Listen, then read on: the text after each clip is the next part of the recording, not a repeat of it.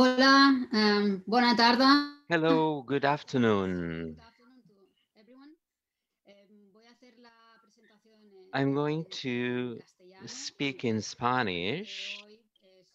However, we have uh, quite a bilingual panel, so we'll mix so languages. So let me apologize on behalf of the members of the panel.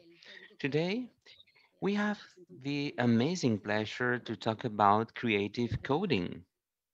I want to share with you my presentation. Humbly, let me apologize because I have loads of doubts. I don't have any kind of a proficiency when dealing with creative coding, and I'm not a primary school teacher or secondary school teacher. I work as a university teacher at the Faculty of Communication Studies. I do love to teach and to share my knowledge. I'm quite a hands-on person and I work from Cornellà, a city at the outskirts of Barcelona, and we boost several projects amongst teachers, students, secondary school students, and the years before the university. So I don't know why, suddenly I fell into a rabbit hole and I was completely immersed in the world of labs. I had the pleasure and I was mesmerized because I was able to live several experiences with the creative coding. I was finishing my communication studies and I was starting my PhD in media labs because I really liked the relationship between technology, society, and suddenly I found that Citilab existed and it was like an adventure to me. I don't know if you know this idea of a Narcissus. Okay, Narcissus, well, looks himself as a mirror. He sees himself reflected in water like it's happening to us now with our screen. He doesn't eat, he doesn't drink water at all, and uh, finally he falls and he drowns into the water. But suddenly he experiences a metamorphosis. This is what happened to me. Once you reach this world, the world of technology and the environment of coding, and suddenly you belong to this environment of gods and heroes that allow you to change yourself and to experience like this metamorphosis. And I was totally fascinated with all the possibilities that I could witness. I learned loads about uh, different media labs in uh, France, in Translabi, in many other media labs, uh, mainly French colleagues in Media Prado in Madrid. So I experienced many incredible things. And I was lucky enough because we suddenly began in my organization in Citilab together with EduLab. We began this journey to teach kids and children to coding. So, infinite opportunities, infinite chances to experience activities with my colleagues. Uh, you know them. Jose, Nina, before it was with us, Bernard, Jordi, Delgado, you know, they were my mentors. And I had so much fun with them. I learned a lot with them. So we brought to primary schools in Cornellà, in a very passionate manner, robotics and coding. So having said this, let me tell you something, but I'm going backwards again. So that's another flashback of my life.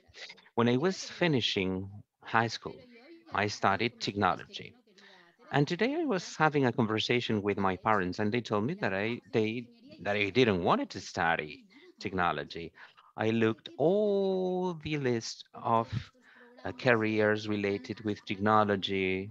I didn't know what to do. I didn't felt any connection at all. I didn't feel attracted. If I had known by that time that it was possible to code, to program technology together with uh, creativity, I'll be there. But I don't know why. By that time, this didn't happen. Therefore, my journey was a little bit longer than I expected. But I'm not complaining here because I had a lot of fun in the art faculty in a Massana school and also together at Citilab. So it was fun. It was quite an interesting journey to me. And I must be deeply thankful to Mariona and all M School uh, team I must be deeply thankful to you because uh, you, the ones that are on the other side, you teachers working with boys and girls and young people, because this is what I really wanted for my life. I wanted that, and you are working for the the young people today not to suffer what I suffer. Therefore, we need to write in capital letters the creative aspect of creative coding. Why? Because in this creative arena, we can make people to feel attracted, to be passionate. We can make young people to feel the attraction to learn coding and to feel pulled by technology. We can let them learn to program as artists. What does this mean? This means to explore mistakes. This means to better understand coding as an artistic mean, to find limitations and not fighting for coding, but looking for a new way of expression. This means to learn mathematics, to understand mathematics, but to know how create generative art. Why not? So this idea that has to do, and I have to say it in Catalan, this idea of spreading and to broadening the impact of creative technologies, of creative coding, to learn to program from creativity in a cross-linked manner, interconnected many areas and fields and disciplines. It is crystal clear that today and in the future we will have a whole area of humanities and art where programming will be capital, will be something vital. So we are facing these new opportunities. We must try to convince our colleagues, such as Elena did. Elena, she's an English teacher and she uses creative coding in the classroom. So we can have humanity subjects, uh, we can use data, we can let students know about history, we can share what happened in our lives, the things that are so vital for social sciences. We can use coding to create art, to be creative, right? So we are facing right now a very big opportunity to pull all our colleagues to this adventure and try to make our best for them to be with us. And today we should think about new possibilities. Today we'll be witnessing amazing projects. What would be Medilabs if Arduino didn't exist in the past? All the possibilities that he brought and the way he worked with free hardware, free hardware that was useful for him to boost and to strengthen the education trends. And Nerea is going to talk about this trend because uh, they began with this project many years ago, right? And it spread all over the place. And it's such an amazing project. So thanks to Arduino, but not only with Arduino, because the tool ecosystem that we have in our hands, it's amazing. We have in Catalonia microblogs, microbits. We have such an array of tools that are so cool, and languages and environments and hardware that it's available to bind creative coding and a physical computing that I can see in the future boys and girls making this creative art. I can see them sculpting things without a purpose, but they, the sculptures will have light and sound. Maybe the sculptures would be robots. This is a picture of an Arduino project it's an amazing project and really reminds me this exhibition that we can uh, see at the CCCB Museum in Barcelona, which is an amazing exhibition. So let's bear in mind these projects, right? It's not the purpose. It's more to let boys and girls to develop their em emotional skills with this interconnectivity world, such as generative art. I do remember when Bernard told us about uh, Beetle Blocks and different uh, projects. So he was like an artist, engineers, artists working together. At the end of the day, I don't know what you think, but you can work with your body, you can work in individually, you can express yourself, and also you can work in problem resolution because, you know, in order to solve artistic problems, you need to master coding. So we had a loads of uh, shapes, uh, fractals, and uh, designs and drawings, robots that are able to draw. It was amazing. So it's like Alice in Wonderland, right?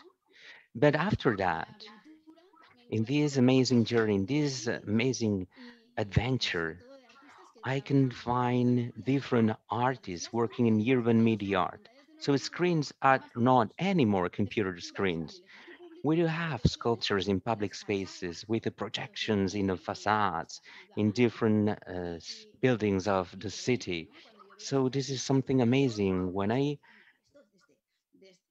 saw these masterpieces, I was totally awed. So I thought maybe this could do it at the Citilab level and to work together with the boys and girls. And the EduLab team, they were able to create an application to work with the windows of this Citilab and video mapping, right? The live coding, all these uh, opportunities, they are in the field of creativity. So we must say it in capital letters, right? With shining letters.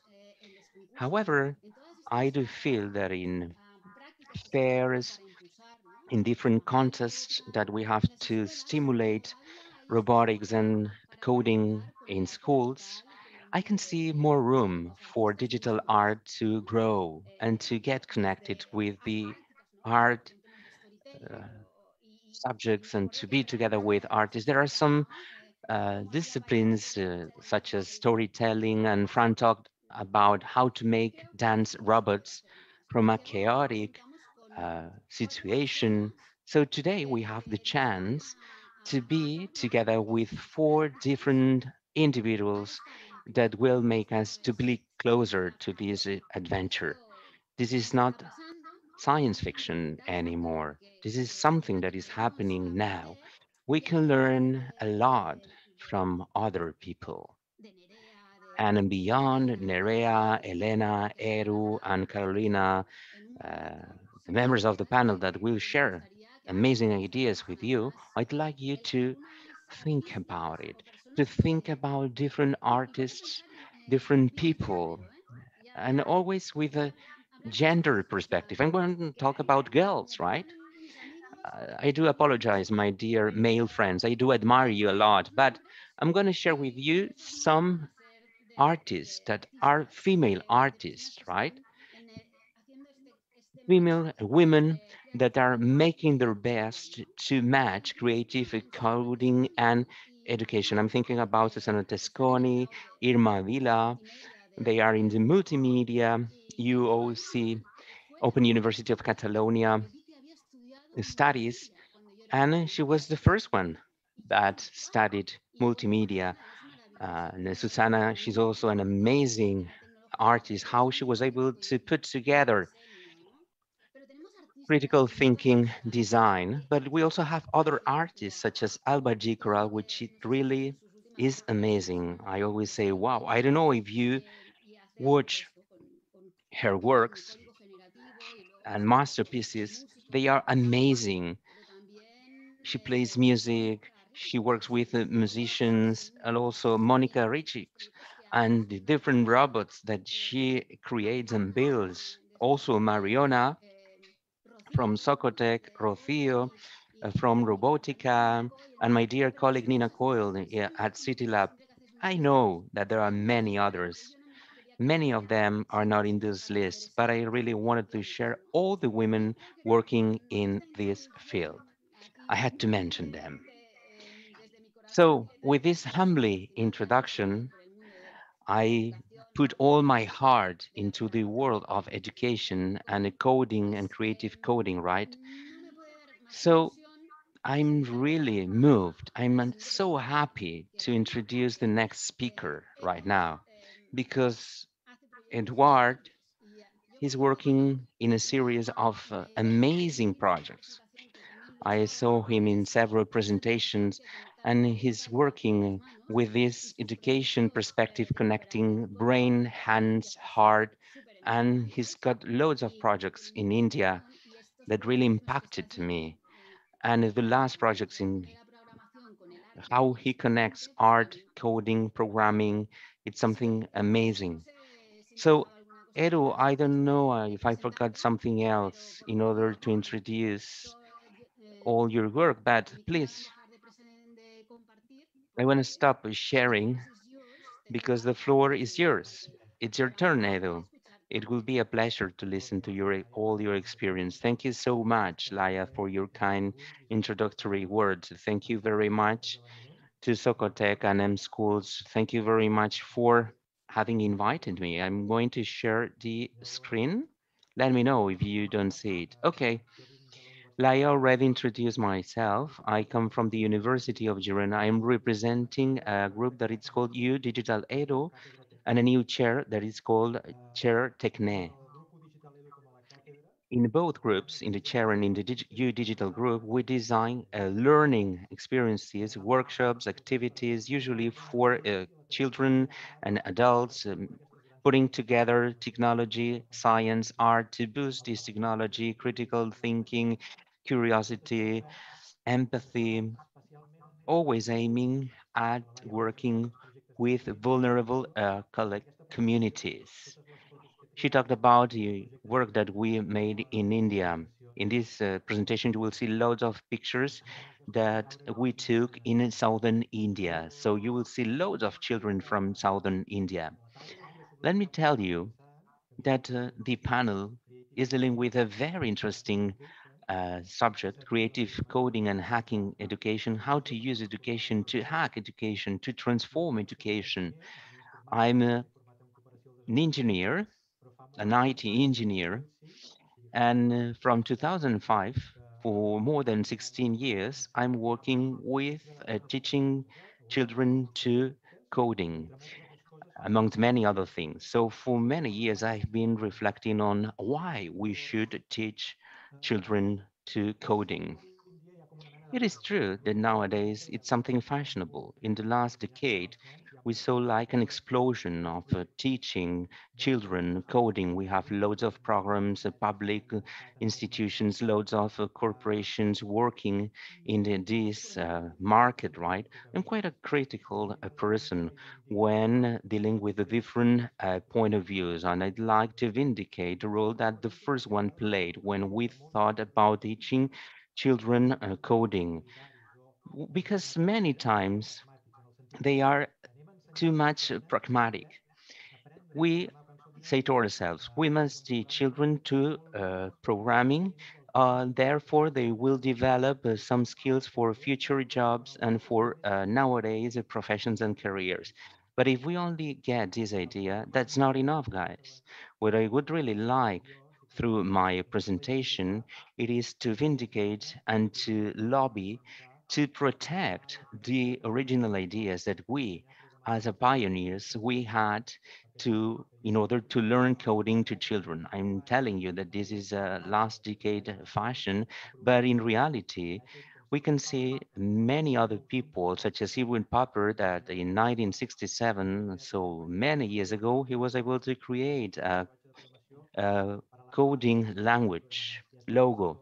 It was the first language. It was the previous language before Scratch, the language that we all know. So at the end of the 60s, the beginning of the 70s, why they thought that it was important to teach coding to children? They uh, thought that make children programming will help them to better articulate their thinking. It is a proper sentence to learn to master your own thinking process to be much more precise when dealing with complex uh, processes. So if you're able to learn coding, you are learning the way you think. And this is so cool because this allows you to better develop metacognitive skills, which is so good for your mind. So this is my vindication, coding, programming as a mean of expression, uh, programming and technology as a mean to express ourselves in a creative manner so this is the discourse that uh, today MIT students and professors have, the ones that developed Scratch. And finally, I'd like to show at the end of the presentation, I won't have time to share all my ideas with you because it's going to be a very short presentation. I'd like to offer you uh, some basic ideas of the main projects that we are developing in our chair and in our group. The first idea that I wanted to share, it is this idea of uh, programming and coding as a creative activity, right? This is the, the title of our panel, Creative Coding. Everything that Laia mentioned before has to do with this picture. We have the stereotype, and a stereotype that we must break down. Sometimes we think that coding is only related with analytic thinking, with mathematics and logics. Nothing has to do with that. For sure, there is a great relationship with logics and mathematics, but in coding, we can see loads of creativity if you launch a challenge that has to be solved through coding in a classroom, right? Whether you look, you work individually or collectively, you will see different solutions. Thanks to coding, you will find very different solutions, and many platforms they are designed uh, for this to happen, such as is the case of Scratch, which is a very powerful tool. So this is the first idea I wanted to share with you. These are the first five ideas that I, I wrote in an article in a paper that I, it was published in the Journal of Education, but I think that they are very, very important today. And coding as a collaboration activity, right? The role of uh, programmer, which is a lonely individual, all the time coding. We also think in this kind of stereotypes, right? We always think that he is a man. I'm so happy that Laia mentioned that the rest of the members of the panel are women. So I'm going to talk about this uh, role that women are playing in the world of coding. So programming as a collaborative activity, right? Programming and coding. So if you go uh, to a coding corporation, coding is such an, a collaborative activity and you have to cooperate with your mates. And uh, also coding, it is something that really boosts creativity. If you are wondering what is happening in this picture, I'm talking here about creative coding. Why do I show this? Yes, we must break the ice. We need to break the walls of the world of uh, coding. We don't need a huge infrastructures, big computers. No, this is a coding uh, workshop, 10 year, 10 hours workshop in a southern India school without computers, without robots. This uh, gentleman that you see here, it is a Javi expert, and he was uh, one of my teammates that came to me uh, to India. And you can see a project where all the children they develop right a coding and they program and they i don't know if you can see the blackboard. You can see a series of uh, instructions and list on arrows.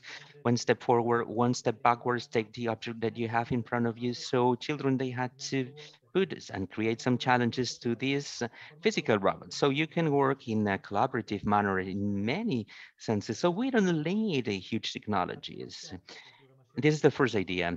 And another idea that was already mentioned by Laia, I believe that Laia has mentioned the many ideas that I wanted to share with you. Well, coding is cross-curricular.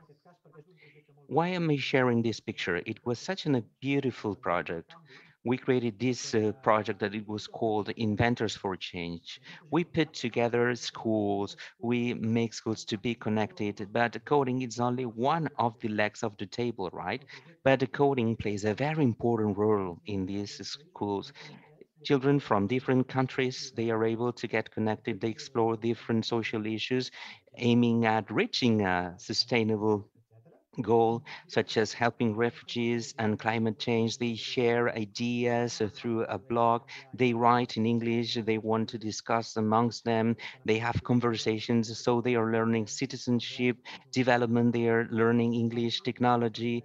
They also have video calls. They know each other through video calls. And suddenly we reach to a certain stage of this progress. This is a school next to Girona in the town of Salt that is connected in with a rural school in southern India, Santi Baba School, and it is Veïnat School in Girona. So suddenly, these uh, boys and girls, they work together with another team and they begin to code to write a story about what they learn and to reflect on the refugee crisis they create and scratch a system, they draw uh, the different characters of the story, and then we have also decoding aspects, uh, mathematics, and uh, why uh, they have to intervene in a, in a stage, all the different characters of the story. So it's a very cross-curricular project. So this is an amazing idea, right? Coding, it doesn't have it doesn't have to be made only in the IT subjects and classrooms. You can do it in any kind of su subject, such as social sciences, languages, and this is something that we are trying to promote from uh, TechNet Chair. And the other idea that I wanted to share with you, coding and girls. What happens with that? Many, many surveys have shown that girls, when they are teenagers, they have less interest than boys to study scientific studies, right? Related with IT, computing. So depending on the language that you use, and also different subjects uh, such as engineering and sciences. This never happened in the primary schools, and we don't know why there is this kind of disruption, why there is this separation. And suddenly, right, families, they play a role and they say to girls, do this, study this or that, and boys, they are have to study other uh, areas, right? I'm a teacher also at the Faculty of Education, and I'd like to make a call for uh, girls to come closer to STEAM, uh, for them to be in a mathematics, science, and for them to study this kind of studies. But 90% and more in education universities, they are girls. Also in nursery schools, they are girls. Despite we made a huge effort for making girls to get closer to uh, technical studies, and I'd like to make boys also uh, to be teachers. Uh, we really need teachers that must be boys, and also we need boys that in the future should be nurses, right? So why do I pick this picture? We cannot see anything. I don't know what they are doing in the screen, but you know what happens? When you learn coding, there are three girls in this picture in India. When you're learning to code, something that you learn, nothing happens if you are wrong. And these girls, they were uh, coding with Scratch, and they were not able to uh, get the effect that they really wanted. They are hiding, right? So they were trying and they are amazingly engaged and they were having fun. They were hidden with their hands the mistake that they made. Nothing happens, right? And they trial, trial, trial and error until they finally get a brilliant result. This is something that the coding offers to us. And the last idea has to do with coding anti-pleasure, the intellectual pleasure. And I want to vindicate the role of Jorge Wagensberg that he always talk about this intellectual joy, which is this relationship between joy, pleasure, and fun and the knowledge that uh, stems from the human being curiosity. Children boys and girls and Laia has mentioned something very interesting. Coding is like learning a new superpower i do really like this idea. It's like your biggest power that allows you to think what computers will offer you and what can you do with computers. It is quite a popular sentence by simon geiber So let's think in, this idea. We are in a classroom, okay, let's say, and suddenly kids they see ants, right? And the ants are the courtyard, and they go back to classroom and they ask the teacher why ants they behave this way, and they wonder many many things, right? And coding will allow these kids a superpower. They will be able to simulate to have this ant nest, a virtual ant nest that will allow them to better understand how the world of ants works. And they will be able to go deeper. What ants are, what are they doing? Why do they behave this way? So this is the perspective of the world. It's something that we call the intellectual joy, right? This is the final idea. Just let me show you my final slide. Let me talk about the different projects that we already implemented. We have Digital Edu, the Technic Chair, Inventors for Change, it's over. So this is the idea to put together different schools amongst them for uh, children to be together and to be connected from all over the world. And uh, we'll give birth uh, to a next project in the schools in South, uh, the, much more uh, complicated schools in South, they will be there. So we also had the European versions, uh, the so-called Inventeur project. I leave you the website. You can find loads of resources, skills, and tools during the pandemic and during lockdown. Both projects will offer you many ideas once you uh, are in a lockdown uh, period. Also, Mont Montec Montessori and technology. It belongs to Erasmus Plus project, the European project, Erasmus Plus. What would Maria Montessori make today if he if she had these digital technologies, right, available, right? Just a minute, Edward. You've got a minute. Okay, just a minute. Okay, cool. And also how to work with the most deprived schools. Montessori began to work in the surroundings of Rome. And also, this is what we do, how to explore, how to use the digital storytelling through coding. Boys and girls, they are able to collaborate and to create different stories. We do it together with other subjects such as the theater and storytelling and talent maker. It is a very recent project thanks to a SALT school. And uh, we finally were able to uh, reach an European level grant, and it's in a European project. So it is a project that is promoting the teacher talent to create uh, maker workshops. And inside these workshops, we are going to have digital capsules that has to do a lot with the creative coding. That's all from my side. Thank you so much for your kind attention. Thank you very much, Eduard. Now I'd like to give the floor to Nerea de la Riva. Nerea de la Riva, Nerea Yepa, that's uh, her Twitter account. Well, Nerea, she's got a degree on telecommunications at the University of Alcalá de Henares. She's been four times the champion of uh, RoboCup Olympic Games. Well, sort to say, she loves robots. She adores robots. She likes to work with the robot's limitations and to go beyond eh? and also to put together Arduino and all the educational aspects of Arduino. So she is an example to follow. She picked a scientific career, a technical career.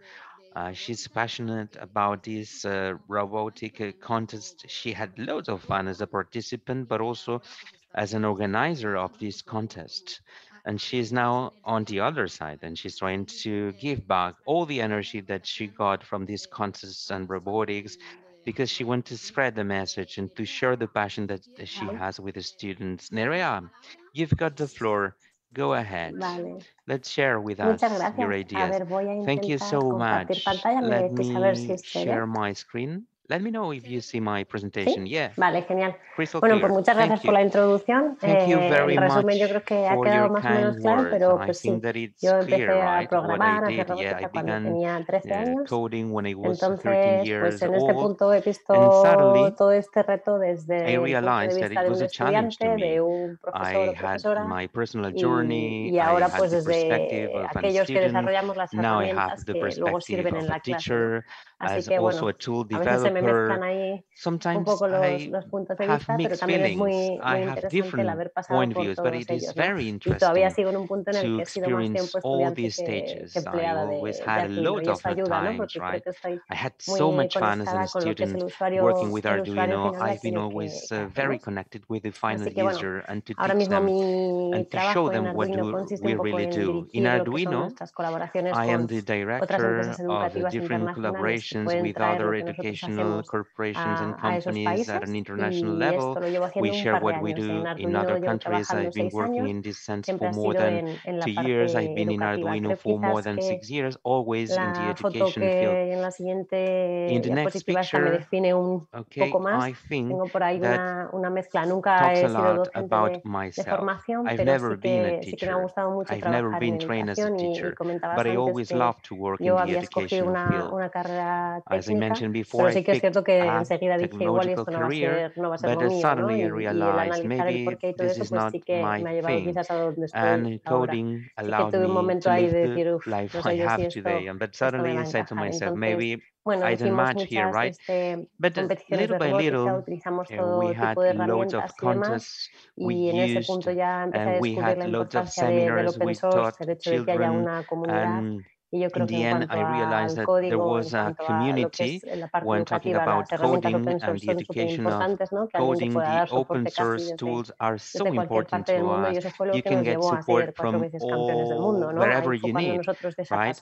So that's when we Teníamos un procesador con un programa chorro enorme que si algo fallaba no sabíamos a dónde llegar, pues empezamos a utilizar Arduino y como la placa era más sencilla, pues pusimos varias en el robot. Entonces, pues el motor no funcionaba, pues el problema era en la placa, en el programa que llevaba los motores, básicamente. ¿no? Entonces, bueno, así fue un poquito como, como empezamos a desengranar el, lo que era toda la tarea de, de la programación, ¿no? que se nos hacía bastante bola porque nosotros hacíamos robots, because we Entonces, detectar uh, una pelota, detectar a los robots, that play soccer. estás they con to pared, dónde está la portería, si vas going adelante, going vas para atrás, si las interferencias y todas esas cosas.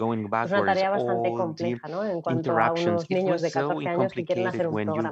fourteen-year-old quieren that want to Y, It was very difficult, and suddenly we realized that entonces, bueno, eh, una vez hecho eso, pues decidimos empezar a impactar también a otros estudiantes, creamos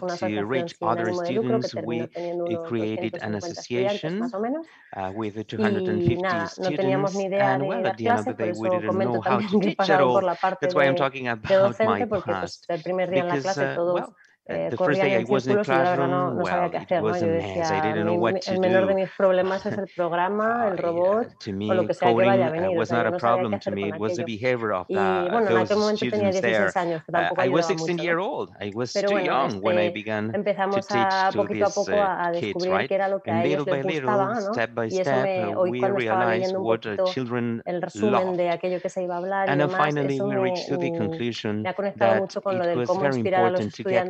con problemas reales, ¿no? Porque yo no tenía ni idea de, de cómo hacer ese tipo de cosas, de cómo motivarles para que me hiciesen caso, porque ellos lo que querían hacer era lo que, lo que ellos querían y ya. Entonces, bueno, esto es eh, lo que me llevó a hacer y quería tocar un poquito well, I de herramientas que descubrí un poco patient, la little by little I got in touch with different tools before I talked about what do we do in Arduino. So little by little I asked the students, what do you want to do? Because if why do you only want to do what you want to do?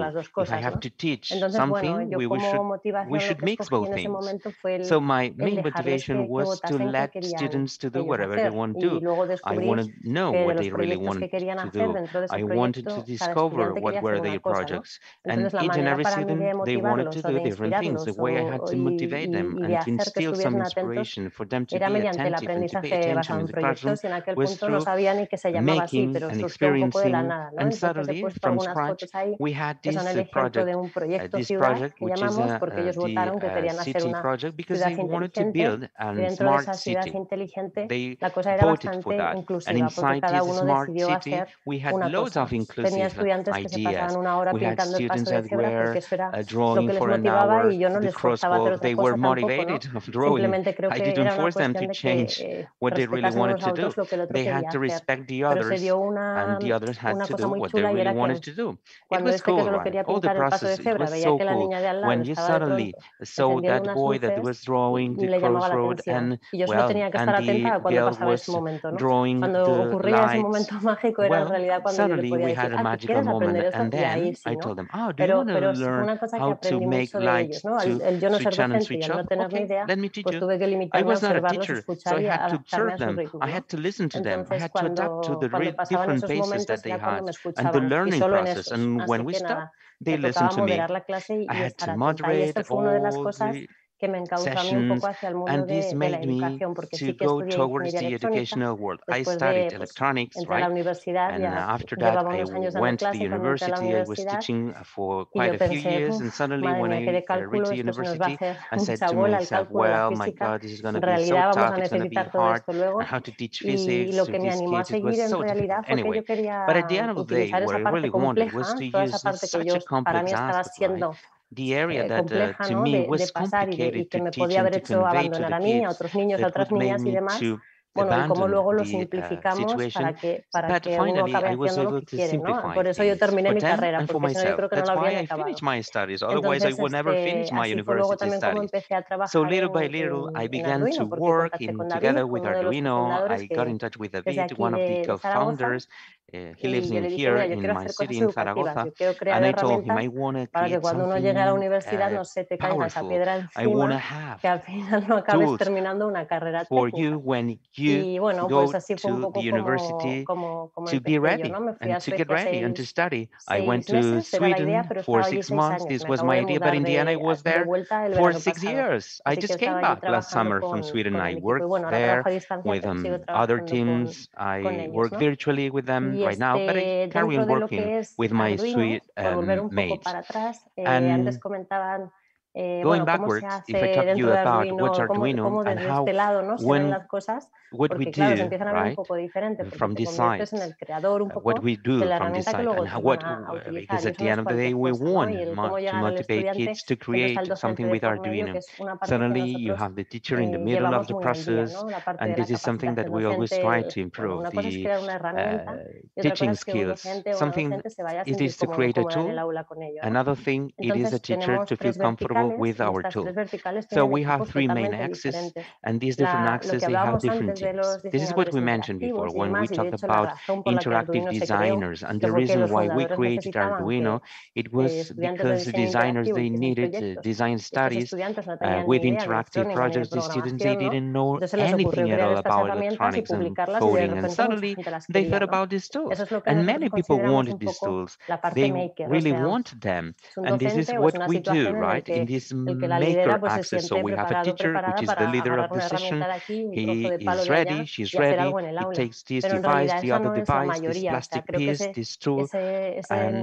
but the majority of these educational studies, right, educational situations, this does not represent the majority of cases. We've been working for more than 16 years together with David that is working in the education access, and suddenly we witnessed that there were other needs that need to be satisfied. So we need to standardize the procedures and to put everything inside the classroom.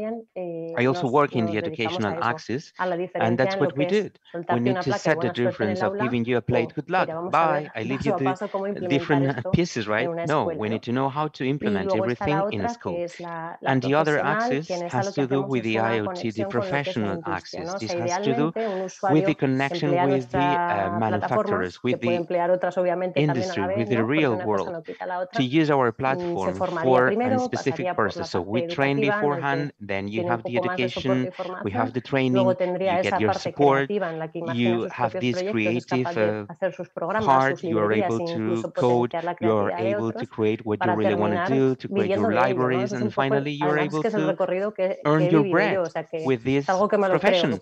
This is something that I experienced myself. I lived that in my shoes. So at the end of the day, this is the last step with the world of manufacturing. This is a connection also with the Internet of Things. So coding, it's not all. ahora nosotros understand how do we, behave, we behave with computers, but also how computers behave with us and amongst them. This has to do with the Internet of Things, absolutely. And 16 years ago, they had this amazing idea to create this tool, which was an easy tool to use, and this allowed me to better understand how a robot works. Today, we are evolving in this sense, right? So we are broadening the knowledge inside the area of the tools, and this is something that I really wanted to improve. I could contribute a little bit more from a tool perspective. And I really wanted to share with you what's the Internet of Things, what are we working with the Internet of Things, how we are improving the Internet of Things. Many things that we are doing in Arduino had to do with the IoT cloud. It is an Arduino cloud. You can put different variables. You have thousands of devices interconnected all over the planet. So this will allow us to have a much more collaborative uh, coding. It is something important right now, right? During these pandemic times, you have an online device, you can get connected through the Internet of Things, and another possibility will make the students at home, they will be coding in a simultaneous manner, different devices. So I don't know if you can see in this video. escuchamos.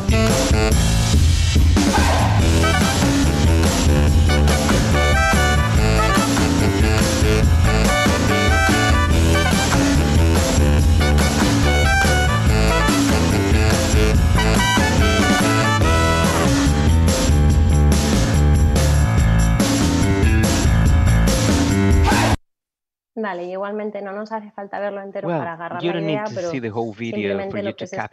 idea. But what are we doing in this video? Pues es crear in this Arduino cloud. We are creating different variables that are not very, very complex, right? You have uh, different objects that you can pull through. You can uh, have the temperature in Japan, and you can reflect in a colorful light that you will have at home, right? This is the Internet of Things. We can broaden the information all over the planet. We can get interconnected. And you can do the opposite, right? The IoT cloud, you can have it in your uh, phone, and you control the shade in your home down the curtains. So this is the program that you can do in this uh, third activity when you start to work with Arduino how to make an engine to move. So at the end of the day, this is the same platform with the different tools that really talks in itself. It talks about the different uh, interconnected devices. So this is in a nutshell the idea I wanted to share with you guys. I hope that you understood and any other questions I you have, I'll be there with you. Thank you. Fantastic, amazing. Thank you so much, Nerea. Now we'll give the floor to Carolina. What a pleasure, Carolina. I had the pleasure to meet Carolina many years ago. To me, it's like a pioneer uh, that belongs to the uh, teaching community in uh, Catalonia. She's such a handsome uh, woman trying to put uh, coding, physical coding, com the maker world, uh, to bring everything in public schools. Uh, she works in a high school in uh, Bellvitge, at the outskirts of Barcelona, and but she's never satisfied. She wants always more and more. She's not only working with uh, high school students, beyond that, she also belongs to the managing team of this team cat, this team that allows us to keep on going.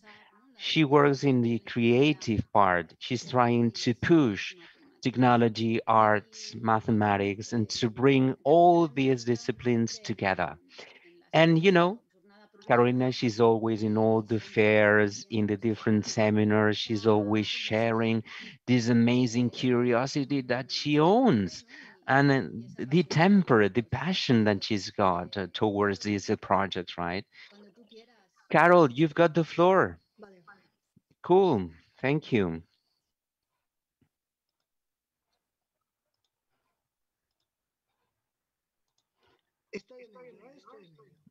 I'm getting ready, getting ready. Almost done. Okay, no problem. Now, yes, now we can see your amazing presentation. Yeah, just a second. Bear with me, bear with me. I'm quite nervous now.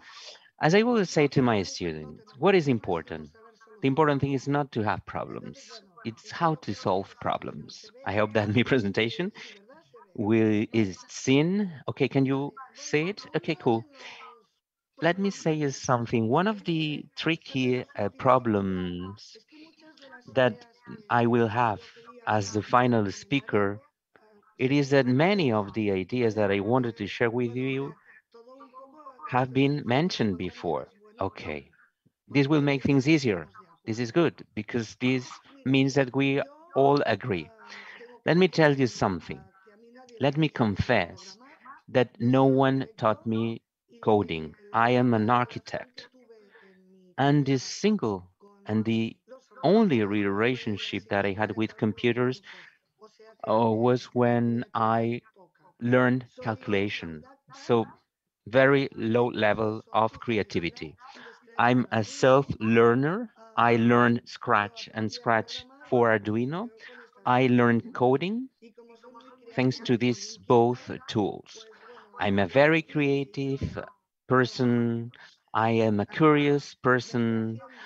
Therefore, I was able to keep on going and to learn on a regular basis. I was able to see what are the values of creative coding.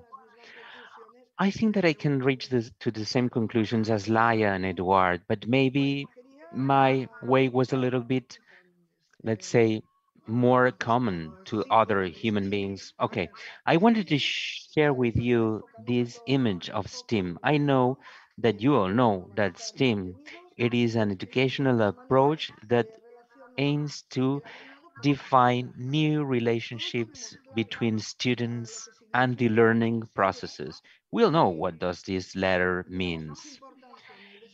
These letters mean a very vital thing for learning.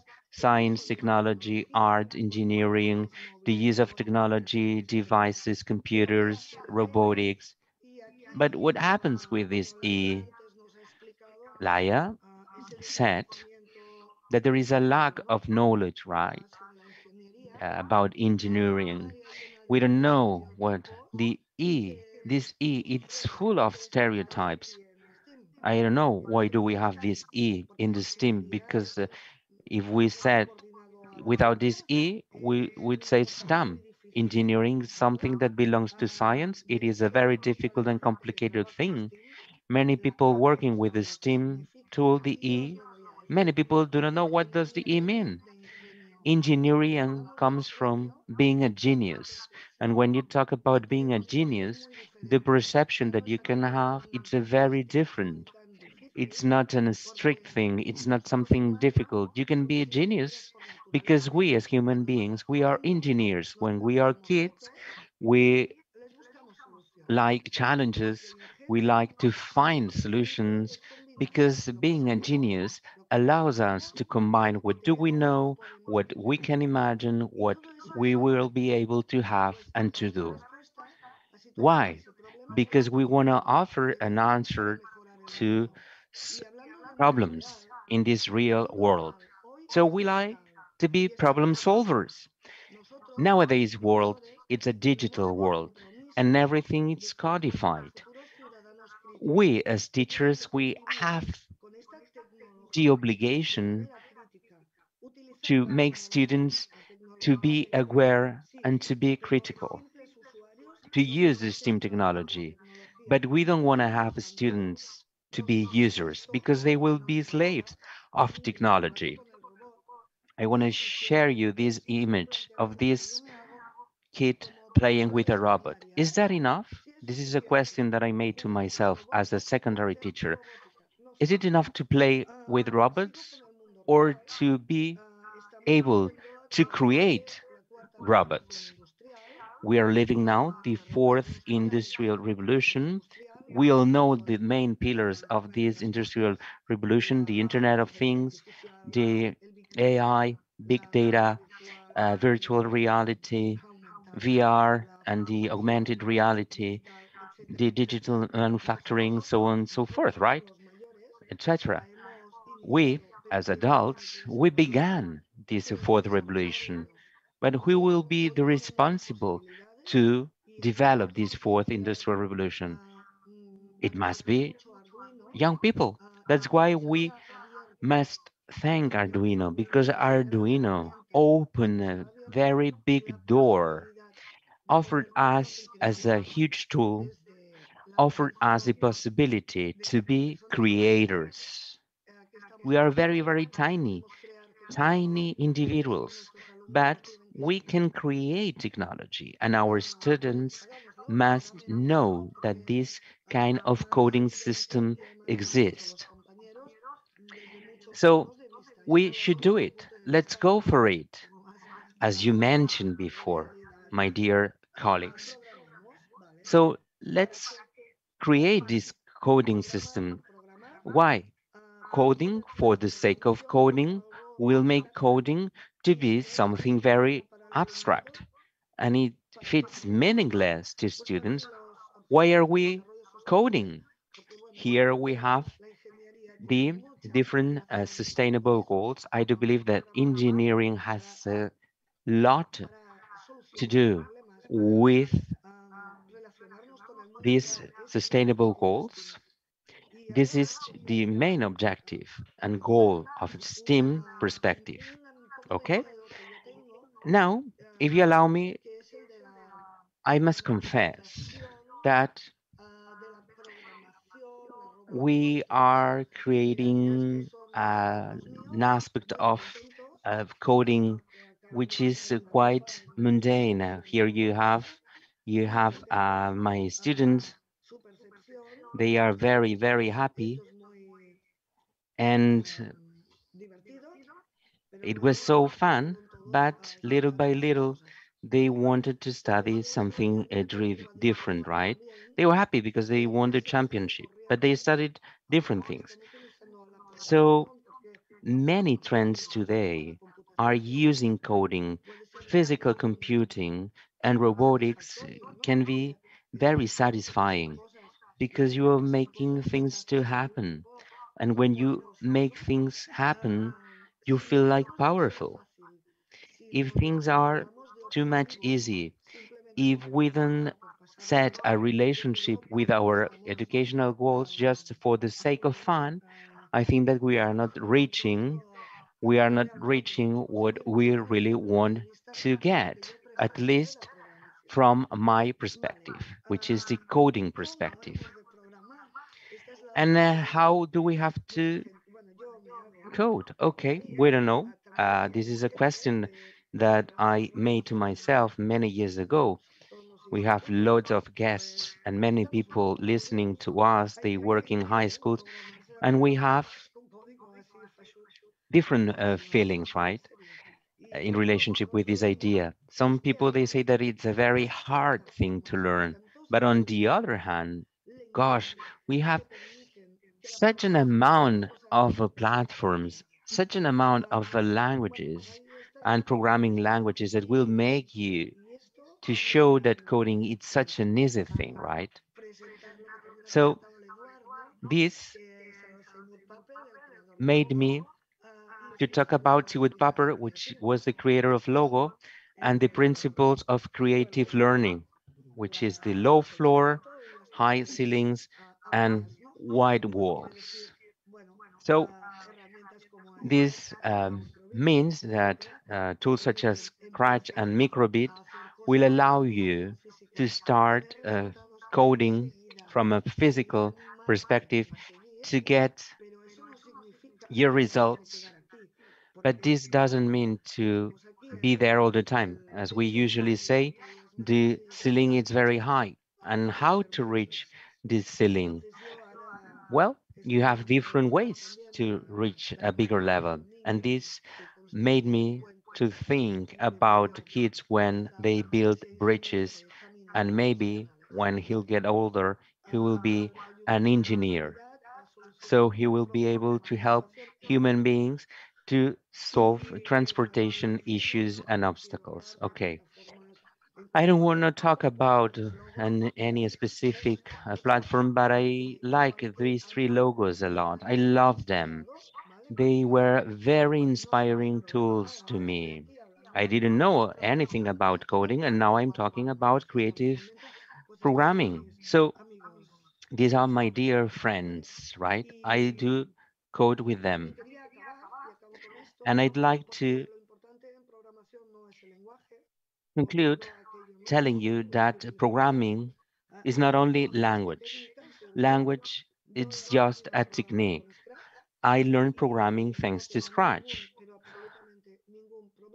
I don't have any problem a lot to uh, program with Arduino or other different codes because the important thing it is to create the algorithm and the uh, mindset structure that you need to solve through uh, programming and specific issue that you have in front of you because creation and creativity they have the same origin right? The etymology is the same. And in order to conclude let me tell you that programming does not have to use always uh, computers.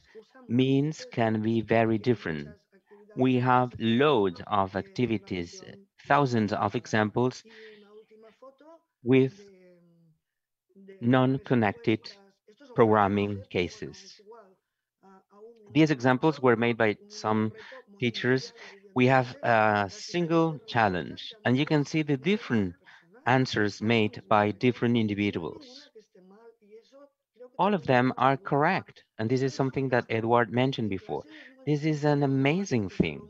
It is very difficult to say to your students, hey, it's not bad, because anything that we'll be able to do, it comes from your creativity and it will be always great. That's all. Thank you.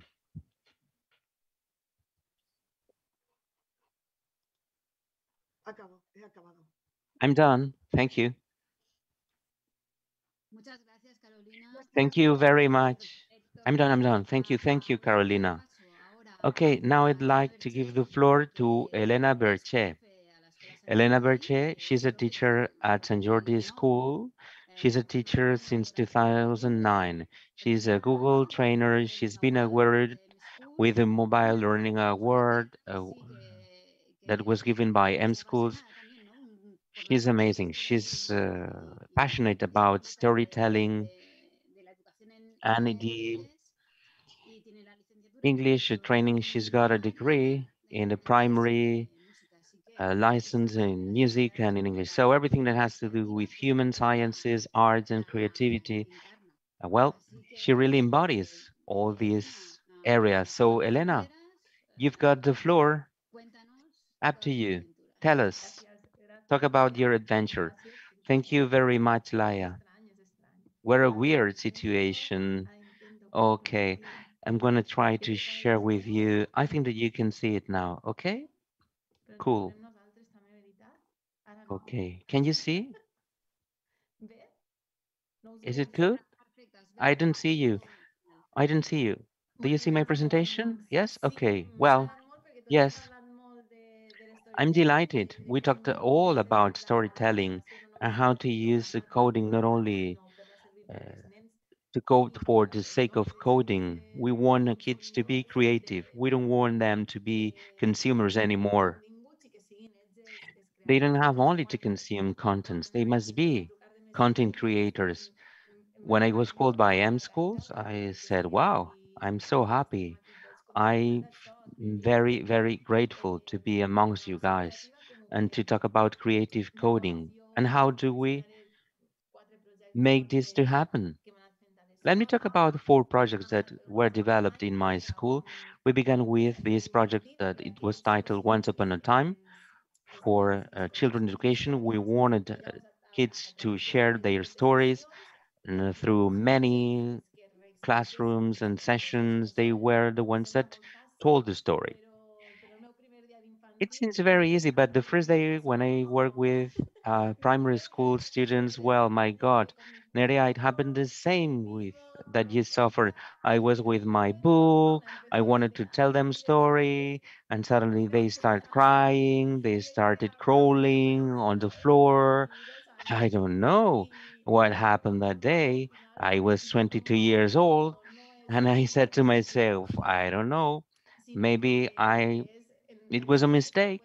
At the end, what I really wanted was to teach them what can they do. You go in the classroom, you get there, uh, you have the book, you want to read the book, but you want to know what are the students' expectations. I didn't know how to do it and how to detect the students' expectations.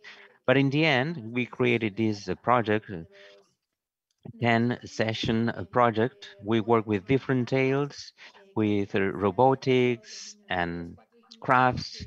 Three, four, five year old kids, they told us the story in English.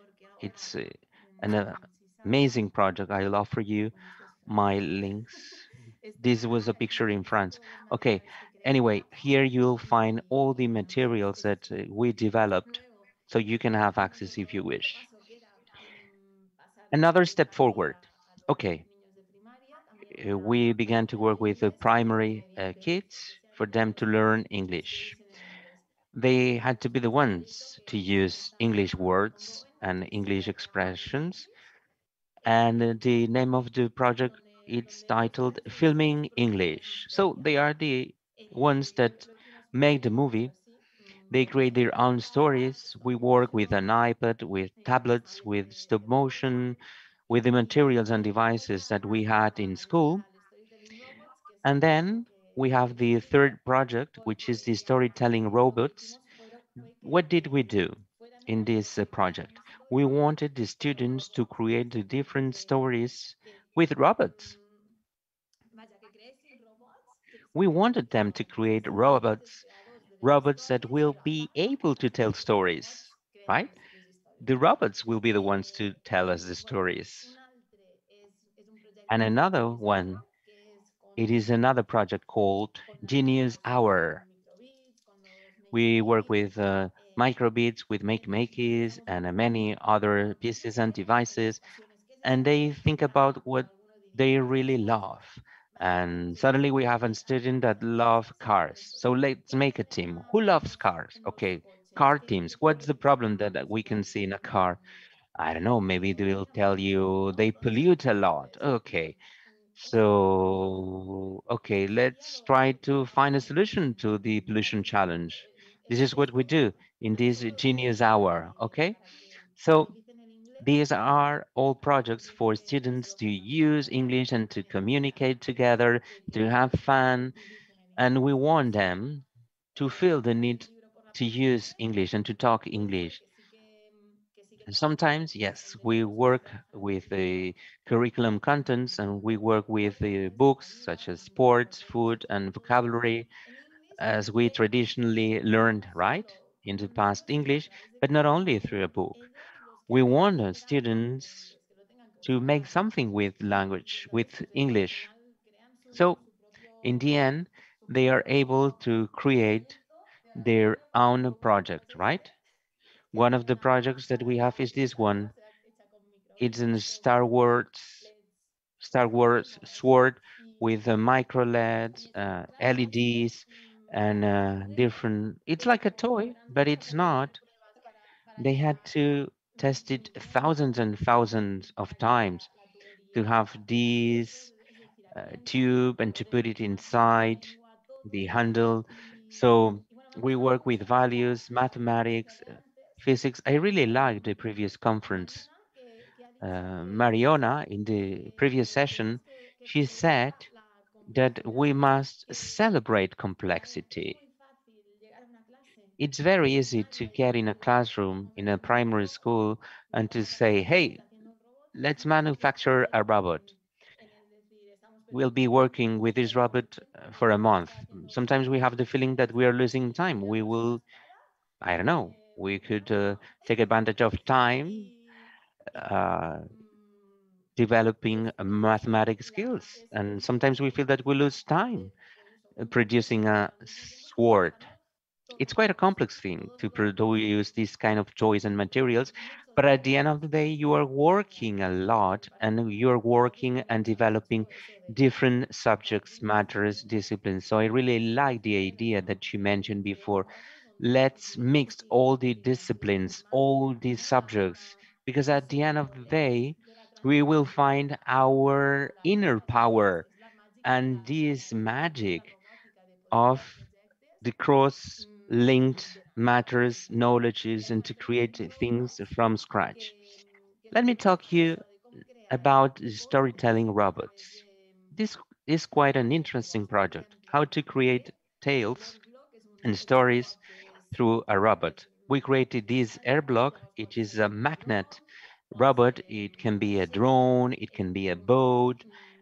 Uh, we uh, wrote some stories through an application, an app that it's called Toontastic, and we divided in three parts. We had a QR code, and we had this Airblock device, and we look for the code, the next part of the story.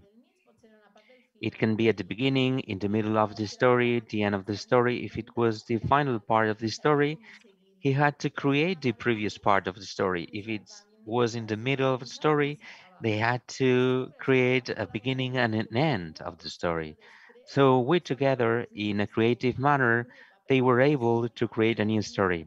We divided into groups, and some of the groups, they uh, created a different story, and the other group created another story, it's a cool project because they put their own voice and together with Bebop, we worked with different colors.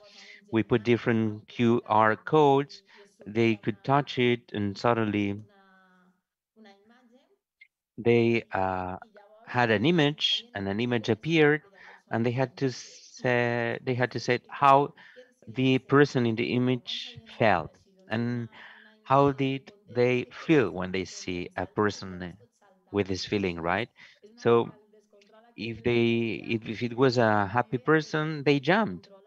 This is what Nerea said. It was difficult to control them and to make them to behave. So you need to be crazy, but you need to control this craziness. And also we work with Rocky coding. We told stories such as this, driving my, my tractor that has a song driving my tractor in a bumpy road. So we sang this uh, song and we picked the different animals that uh, sang this song. So we used these robots and at the end of the day, we had a different motivation for them to use English and also CoSpaces. I'm a raving fan of CoSpaces. We uh, worked different uh, animals and we told the different features of the animals. And well, sometimes why don't we make uh, the an AR world and to offer an answer and depending on the answer the animal will uh, make something or another thing so this is magic and we have it thanks to coding so at the end of the day this is what carolina said the environments are very similar. CoSpaces environment, it's very similar to Scratch, to Scratch, to MakeCode. Once they know one coding system, it's very easy to work with another system. So it's very easy. So we have this making Makey robot. We uh, wrote a tale for a student that was blind, so he was not able to see. But when he touched the monster of colors, right, uh, we listened the voice of uh, five grade students, and this uh, five-year-old kid, well, was able to listen to the story. So we used robots and coding to tell stories and uh, to make things funnier. We had fun. So to speak English is not only a manual thing, a thing that you find in your handbook, in your book. We want students to speak English in the classroom, at home. Many people will say, well, that's fantastic, but how do you assess your students? You have tiny groups of students. How do you assess them? How do you give them grades? Well, you must be aware we have a digital portfolio. We have a lab book, right? The ones with different folders. I like the digital portfolio because they can put different videos. They can upload all everything that they did uh, in the classroom. And okay, they must know uh, what we are assessing and why we are assessing the different skills. And well, at the end of the day, we had fun and they will be able also to assess themselves together with their colleagues. I really like Carolina because I always say to myself and to others, any kind of a projects, low floors, high ceiling. This idea, I really love it. You can start from scratch. You can, uh, uh, I don't know, you can end having a sword. You can end uh, having a hairdressing salon, wherever. So I really like this uh, image, right? And this scratch tool. We can start imagining something, we can produce it, we try it. If it works, okay. If it doesn't work, okay, how can we improve it? Uh, we can share it with the others. Many, many times we had an English game in the classroom with different cards and, you know, after half hour, they played something different. We wanted them to practice English, but they played something different. So this is the same, right? So this is what we want. We want them to keep on creating because at the end of the day, what we really want from kids, we want children to be able to communicate, to work with creative thinking, with uh, we want them to collaborate with the others and thanks to coding, we can do it. We can do it. And in order to conclude, let me read this quote from Mitchell Resnick. The best way to promote creativity is to support people working on projects based on their passions. Whether you are a kid or a teacher, if you love Star Wars, why not? Why not to uh, make a sword together with your classmates? Always in a playful spirit. Thank you so much. Thank you very much for inviting me and for sharing my ideas with you. Well, we were waiting uh, for questions and to share with the participants, but well, I, we don't have a questions for the moment being. So let me ask you something. Okay. The opposite of a creative coding will be to follow the instructions without failing, without being able to change things. So this strategy is not very creative. People making things without being creative, uh, you know, in general terms, we don't like it at all. We want to be free. Would love to follow the rules and to learn uh, coding without being creative? Nobody. But from the different strategies to attach to creativity, breaking the code, playing with uh, error, also to better know uh, the principles of coding, to explore different algorithms that will offer the possibility to reach and to make what we really want to reach and to make, because I don't know if you want to have like a play role or uh, you should know how to use different tools that will allow you to create this algorithm. How do you make things possible? What's your strategy? Please give me a tip. Give me, uh, let's say, a hacking recipe.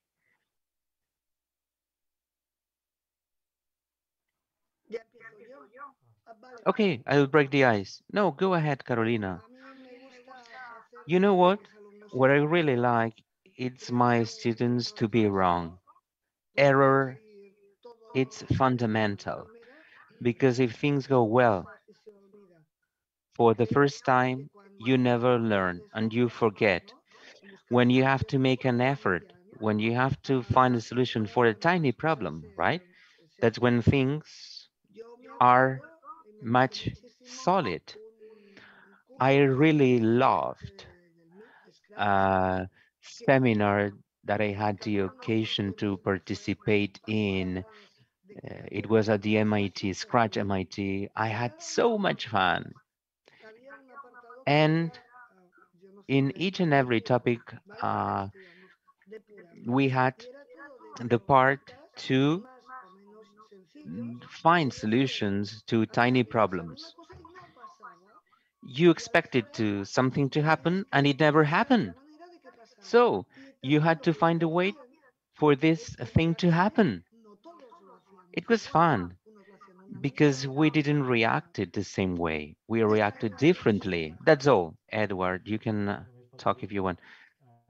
Yes. If I had to give you an advice, Carolina and Elena, you made a metaphor. Low floor, high ceiling, broad walls. I think that it is basic. When you pick a platform, we talked about platform. There are many, many platforms, an infinite quantity of uh, platforms to improve uh, programming. I think that we need platforms with broader worlds. Children should learn differently. Let's talk about Scratch, which is maybe the most known example. Maybe kids love music and they got hooked to Scratch through music. Maybe they will learn algorithms later on. Others, they love drawing, drawing characters, and they get hooked to Scratch things of drawing. We have others that they love uh, coding. So we need broader walls. And this has to do with different intelligent varieties and skills. Each and every one of the students will have different ways to get hooked mm-hmm. to coding. This is my tip. Thank you. Phenomenal. Pues puedo continuar yo, si no. Let me eh, say something if you don't mind. Bueno, igual, Go de ahead. acuerdo con todo lo que se I ha do dicho agree ya, pero with algo que yo everything that intentaba you hacer mentioned en, en before. clase siempre dejarles presentar I lo que han always hecho. in a En una classroom, época también cuando estábamos un poco más always, metidos en always la programación y los estudiantes eran un to poquito más present what mayores they que do. algunas veces del mismo When diagrama de I flujo que had lo dibujábamos a lo mejor older entre todos students, en we la have a pizarra, que low el programa era sobre diagram, cómo we construir un avión draw de it in papel the y hay blackboard. 300 Maybe the formas de program hacerlo, was uh, pues más o menos drawing acordábamos entre a todos el plane diagrama de and we flujo had y luego ellos 300 complementaban, ¿no? ways to Y draw a cada plane. programa era distinto, And cada, pues well, we también lo had hacíamos de different manera ways of física, drawing, con right? robots, And con we circuitos. presented the way Y we bueno, did it. luego los grupos, yo siempre And, guardaba and tiempo para then que los grupos I pudiesen always kept presentar some lo que time habían hecho. Y for una de uh, las different partes teams clave que tenían que to incluir show en su what they presentación did. era lo que no And les one of había the parts that funcionado they y had el por to qué. Cuando share estaban in the haciendo robots presentation muchas veces was seleccionaban to materiales share que eran muy what pesados y el it robot no se movía was porque el wrong. motor no era muy potente. Maybe the Entonces engine was not siempre les very pedía que powerful. pusiesen Maybe the robot soluciones was y very además heavy. algunos decían, pues ponemos So un I motor más wanted them potente y to otros share the decían, pues problem. aligeramos la Some estructura. Y told, ambas cosas hey, de nuevo let's estaban put a bien. much more Entonces, powerful pues ese sería un engine, poco or let's mi have a consejo, lighter dejarles que structure. se So expliquen y this que is my expliquen tip lo que of no ha advice, funcionado, no right? siempre lo bueno. This is my advice. Uh, let them talk about what uh, didn't go well. I do agree, Nerea. Yes, because in conclusion, what do we do want? we want students to share their mistakes and suddenly they realize, hey, I could do things this way. They can share amongst teams, right? Now with the pandemic, it's so difficult, but uh, when we look to the screen and when they share amongst them, it's uh, very interesting. Yes, thank you. Another advice that I give you, it is to share amongst all a very tiny piece of code. If you start working with nine-year-olds, it's very difficult for them to have support, right? The fundamentals for them to create. So only high ceilings and just create, go for it. But as an advice, let's offer them the fundamentals, just a tiny part of a code for them to create afterwards. We do have a question uh, from the audience. When we talk in the digital world, the mistakes can be easily solved, but in the digital world and in a analogical world, things are much more complicated to solve. Well, mistakes can be fatal, right? In an analogical world, but you need to know how to solve, uh, how to find a way to solve your problems and not let this mistake to happen again in your life. en donde nosotros estamos, I think that educación, el error nunca es when working with education, mistakes are never entender que el error fatal es lo básico mistakes. Mistakes are the todavía no- no basis to learn. implementé, pero ya tengo otras herramientas, So. We have different tools. El error es básico y lo que es Mistakes are basic. tomo Nerea, ¿no? As Nerea mentioned before, you must be aware, you must acknowledge that you can share what didn't go well. Because I saw myself in uh, different work situations that uh, things went well at the first chance, and this is not reality. Things never go well the first time, and things are never good all the time. We can always improve. You must accept where did you fail, what could you improve, and to accept the way things are. And then in the real world, okay, be careful. Igual también es adaptar un poco el tipo de error al, Maybe we should adapt ¿no? the kind of mistake momento en el que to the encuentras, igual que different no development uno no escribe mal una palabra, ¿no? O muy raro lo va a hacer. Yo creo que según uno se va desarrollando el tipo de, de error cambia. Si la plataforma está un poco bajo control, o sea, si obviamente igual tres añitos tienen que trabajar en un entorno súper seguro, pues quizás bastante digital, en donde la capacidad de volver atrás con el error sea fácil. Igual cuando and tienen for 10 them lo que puede pasar es que quemen un LED? Y se compren What otro would be LED the por most otros 10 complicated thing? céntimos, ¿no? Maybe Entonces they yo creo que will siempre burn intentar que an el entorno o el LED tipo de error light que se and they puede will pay 10 producir cents to buy a esté un new poco en one. conexión con lo que So ellos tienen en su always conocimiento bajo control, depending ¿no? on the Pues no es lo level of mismo knowledge that they cuando ya have, uno diseña un So puente, uy, se ha caído, qué you educativo el error, hombre, uh, igual. create a Yo creo que en ese punto bridge, well, the ya, bridge ya falls uno llega a apart. una Well, madurez donde eso no right? pasa, ¿no? Pero es eso, yo creo que es So we adecuar el need tipo some de error level of al, al momento. maturity. So on how to get adapted to the different kinds of mistakes. We are reaching towards the end, but let me just thank you all, Elena, Carolina, Eduard, Nerea. Thank you so much.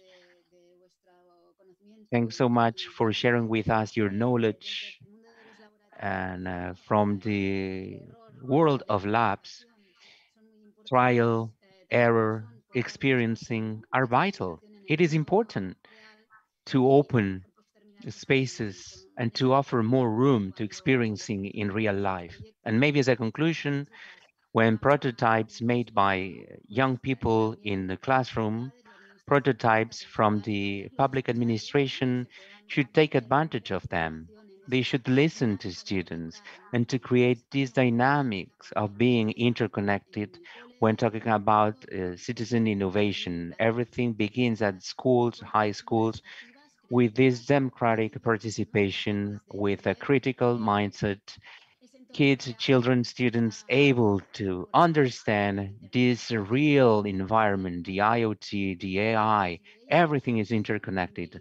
And boys and girls, they are smart enough, they have the knowledge, the know-how, they understand this technology, which is not anymore a black box. They know how to work with that. They can offer us new proposals. uh, so we have new alternatives to the GAFAM world, to the world of big corporations. So with this idea in mind, with this huge potential and this huge array of possibilities, this conversation reaches to an end. But to be continued. We'll meet each other through social media, through social events and other activities, and we count on you. We count on the education community, and we count on all of the members that belong to our community. Thank you very much to all of you. Thank you so much. Thank you very much to Soko, to Mobile Team. Thank you, guys. That's over. Thank you.